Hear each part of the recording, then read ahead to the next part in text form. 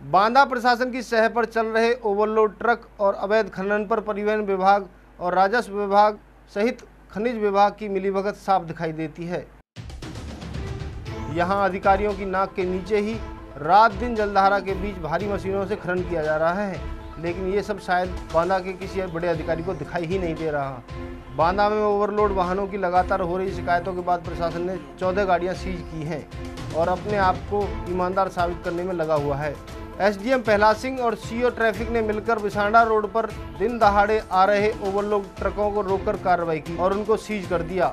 इस संदर्भ में जब एसडीओ पहला सिंह से बात की तो वो गोलमोल जवाब देकर बचते हुए नज़र आई तो हम लोगों ने करी है मेडिकल कॉलेज के सामने, जो हमारे नरेनी की तरफ़ से आते हैं, भूरागढ़ और बिसंडा रोड।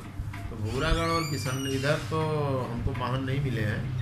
लेकिन बांदा टू बिसंडा रोड पे हमको ओवरलोड ट्रक मिले हैं। ये संयुक्त चेकिंग थी जिसमें सीओ ट्रैफ़िक साहब थे हम थे और आरटीओ डिपार्टमेंट से पीटीए थे। क्या कितनी गाड़ियाँ पकड़ी गई हैं? किस तरह से चालान किए गए? चौदह गाड़ियाँ पकड़ी गई हैं जो ओवरलोड थी।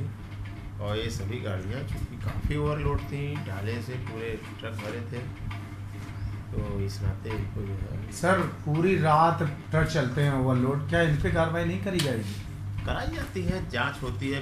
जिलाधिकारी महोदय ने विभिन्न टीमें बना रखे हैं। जी। हम लोगों की टीमें बनाई पूरी रात सर चल रही हैं लाइन से लगे हैं जाम लगा हुआ है। नहीं सर सब इसी तरह से तो चेकिंग होती है उनके खिलाफ कार्रवाई। रोज तो पकड़ी जा रही है पचास पचास